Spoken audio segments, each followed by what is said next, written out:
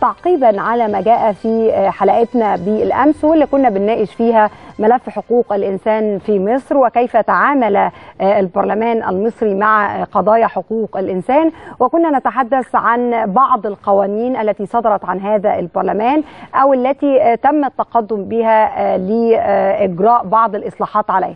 الحقيقة تلقيت اتصال عزيز من معالي المستشار عمر مروان وزير شؤون مجلس النواب. كان له بعض التعقيبات على ما جاء في الحلقة. تفضل مشكورا بإرسالها لي بس خليني أقول لحضراتكم ملخص ما قاله لي المستشار عمر مروان. فيما يتعلق بقانون التظاهر طبعا حضراتكم عارفين إن كان في مجموعة من المواد تم التحفظ عليها بشكل واضح في هذا القانون.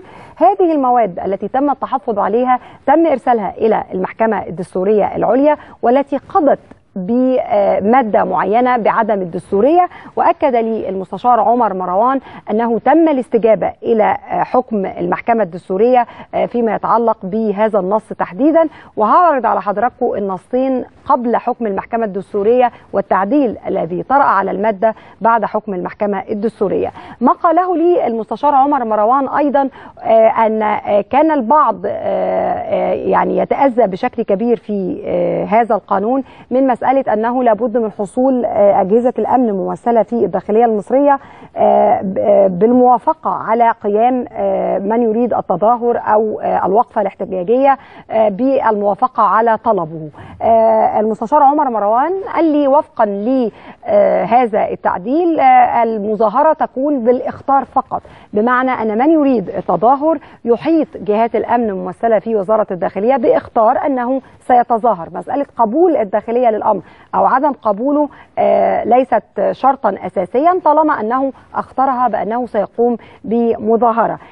النص الذي طرأ أيضا على هذا التعديل أنه كان في حالة استشعار وزارة الداخلية وفقا للمادة 10 في قانون التظاهر بأن هناك ما يهدد الأمن والسلم العام من قيام هذه المظاهرة كانت تقوم باخبار أو إختار الجهة اللي راغبه في تنظيم التظاهر بأن المظاهرة هتعمل مشاكل وبالتالي بلاش خالص إن إحنا نعملها. التعديل اللي طرأ على المادة بيقول إن يتم رفع دعوة إلى القاضي ويحكم القاضي في هذا الأمر ويتم إخبار أو إبلاغ المنظمين لهذه التظاهر بحكم القاضي. وبالتالي ستكون هنا جلسة قضائية يحكم فيها القاضي ويقدم أسباب مسببة أو يعني رفض مسبب لعدم قيام التظاهر وهذا يعني أن سلطة الداخلية في وقف هذه المظاهرات أو منعها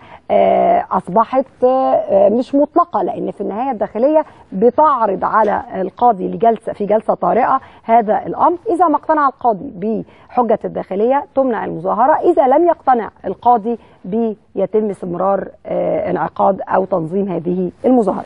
كان له تعقيب آخر يتعلق بقانون الجمعيات الأهلية لأن إحنا امبارح قلنا إن في شروط بتحكم مسألة الجمعيات الأهلية تأسيس جمعية أهلية في الداخل أو في الخارج.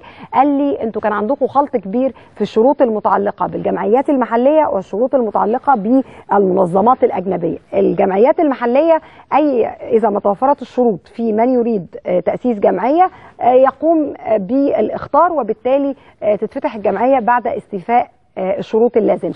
أما المنظمات الأجنبية التي تريد أن تؤسس لها فروع أو جمعيات في مصر هي التي تخضع لمجموعة من الضوابط التي يتم فيها الرجوع إلى اللجنة التنسيقية الأمنية التي تبدي موافقة إذا ما كان هذا سيتوافق مع اعتبارات الأمن القومي أو لا وفي كل الأحوال لازم يتم الكشف عن مصادر التمويل ومصادر الصرف. أنا حبيت انقل لحضراتكم عشان أبقى آمينة تعقيب معالي المستشار وأعتقد إن هو وضح نقاط الحقيقة كان ناس كتيرة جدا مش واخدة بالها منها خاصة فيما يتعلق بمسألة أن التظاهر أصبح بالاختار وليس بالموافقة من جهات الأمن وأن لا يحق للداخلية إلغاء المظاهرة إلا بعد عقد جلسة يكون فيها حكم من قاضي بهذا الأمر ويكون الحكم مسببا.